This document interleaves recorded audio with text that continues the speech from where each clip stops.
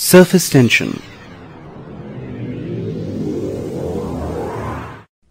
Observe the sewing needle placed on the surface of water and an insect walking on the surface of water. We observe that the sewing needle, which is denser than water, floats on it, and the insect is able to walk on the surface of water. How is this possible? This is because free surface of water, which is at rest, behaves like a stretched elastic membrane supporting the needle and the insect. This property of liquid is known as surface tension. Thus, surface tension can be defined as the property of matter by virtue of which the free surface of the liquid at rest behaves like a stretched elastic membrane having contractive tendency.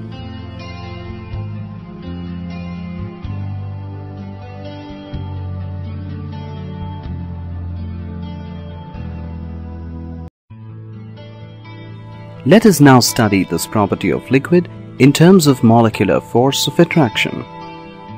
Consider three molecules A, B and C of a liquid. The dotted circle drawn around each molecule represents the sphere of action of each molecule. Observe that the sphere of influence of the molecule A is completely inside the liquid. It is attracted equally in all directions by the other molecules. There is no resultant force acting on the molecule A. The molecule B that is closer to A also does not experience resultant force. What about molecule C? A part of the sphere of action is above the liquid surface.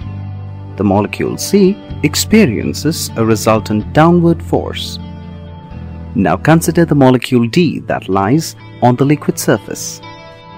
This molecule has its sphere of action exactly half outside the liquid and half inside the liquid. Thus the molecule D experiences a downward attractive force. Due to this downward attractive force, the molecules on the surface experience a tension called surface tension. Click on the link provided to view some more illustrations.